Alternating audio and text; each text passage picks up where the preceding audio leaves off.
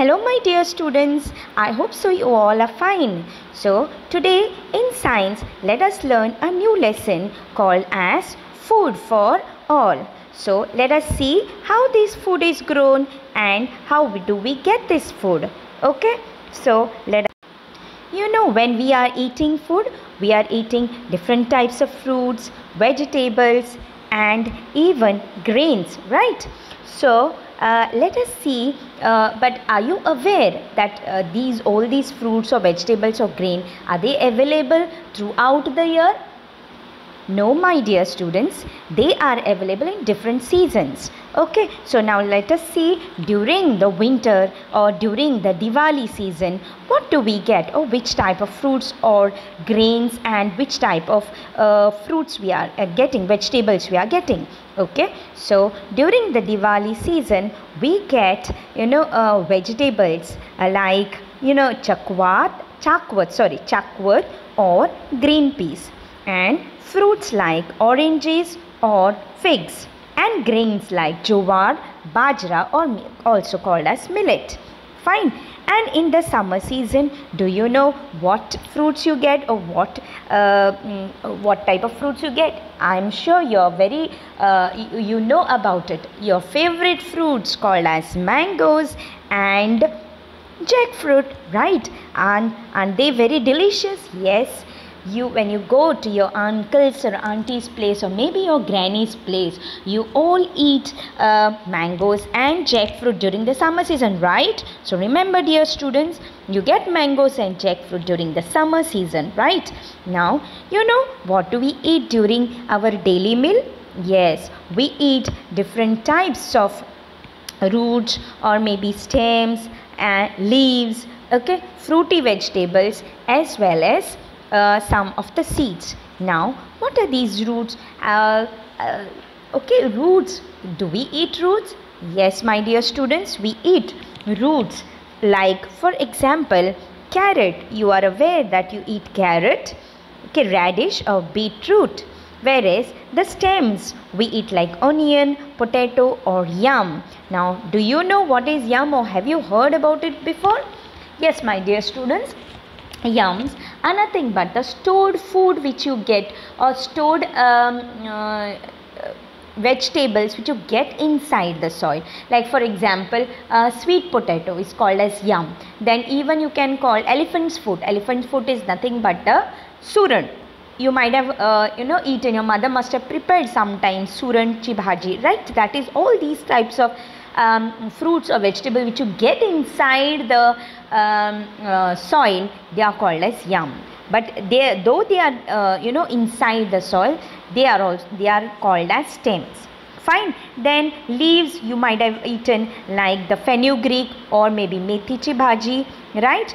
And spinach called as palak bhaji then there are vegetables which are also called as fruits okay you might be thinking what are these fruity vegetables right fruity vegetables are nothing but your tomato brinjal lady's finger these are also called a fruity vegetable then we eat seeds and uh, uh, like pulses or maybe uh, your uh, pulses or oil seeds. Now, pulses means what type of pulses now? You might have heard about moong seeds, right? Then you might have uh, heard about uh, uh other types of uh, pulses. Moong chana okay then sauri all these are called as pulses. Now which are oil seeds? You get sunflower oil correct? So the oh, seeds which you get from sunflower is called as oil seed. Then you get groundnut. So it is all these are called as oil seeds fine. So in order to obtain food from plants okay we need to grow uh, the crops in the fields and plant fruit trees in the orchards. Now what are these orchards? Orchards means you might have heard about kechi bag then you might have heard about uh, ambechi bag, kajuchi bag. All these are called as fruit orchards. So, in order to obtain food from different plants, we have to either grow them in the field or maybe in the uh, fruits in the fruit orchards. So, now let us know more about their cultivation. Okay.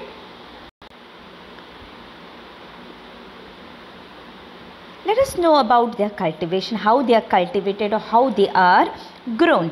Okay, now before that, small introduction about now uh, what type of crops are grown. Okay, so about 60% of the total land which is present on the earth is uh, you know uh, in our country is meant or used for agriculture and there are two main types of um, uh, you know um, seasons in our country. They are nothing but Kharif and the Rabi seasons. So the, the season from June to October is also called as the Kharif season whereas uh, okay so in this season what type of crops are grown or uh, how they are grown okay so in this season what happens is that so uh, the crops are watered mainly by the rain in this case. So you might be aware of the paddy field or maybe the rice crop which is mostly grown during the uh, uh, kharif season. Or there are some other crops also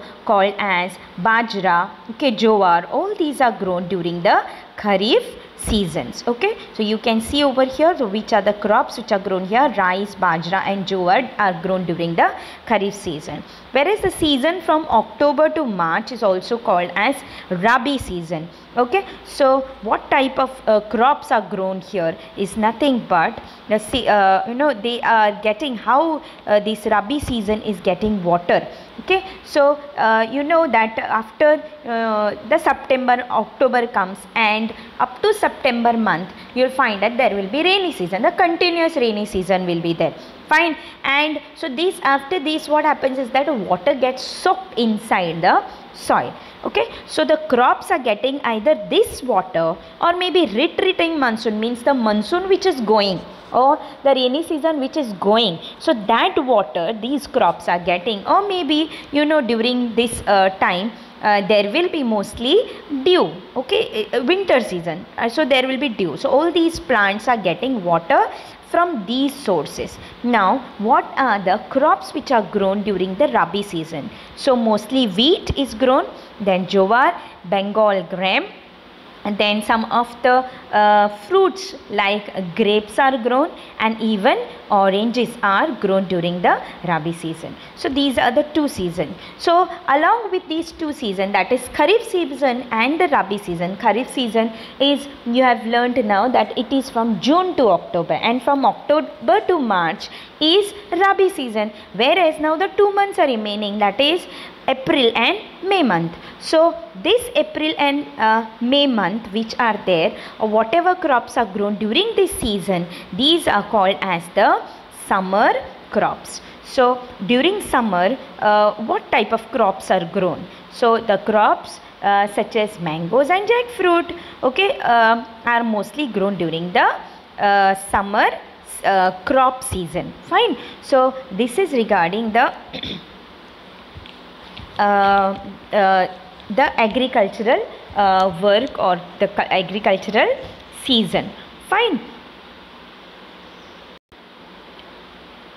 In order to grow crops in the field, a farmer has to perform various task or various practices in sequence. So as you can see in this picture over here, a farmer has to first plow the field then it, there is a tilling practices going on. That means the you know uh, once the plowing is done the soil has to be arranged properly. After the soil is arranged properly okay the seeds will be sown once the seeds are sown okay the uh, watering is very important. The uh, crop requires lot of water for its growth. Not only water like how we require water to drink and food to eat. Even plants require water as well as food. Now what is that food? Food is nothing but the either the fertilizer or the manure.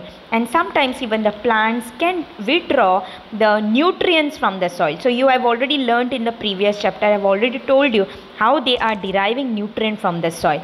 Okay? So from the soil also get the nutrients. They get it in the form of a fertilizer or maybe manure. Fine. Finally once the crop is you know growing it has to be sprayed with some of the insecticides or maybe pesticide so as to protect the crop. And finally the crop will be ready for harvesting. So all these practices are carried out by the farmer so as to get a good yield. Yield is nothing but a good utpanna utpanna. Okay? So they should get good utpanna and so he has to carry out all these practices. Okay? So now let us learn about all these practices in you know little more detail. So man gets his food from the cereals like rice or wheat, jowar and plants which gives us uh, you know uh, pulses or maybe oil seeds, vegetables and fruits. All these are you know uh, derived by man okay? All these are required for his daily meal. And so for this man has to first till the land. Every farmer feels that the crop okay crop in his uh, field, uh, field has to grow well okay? And so for that he requires to do a lot of hard work for this. And a good harvest only will give him a good income right?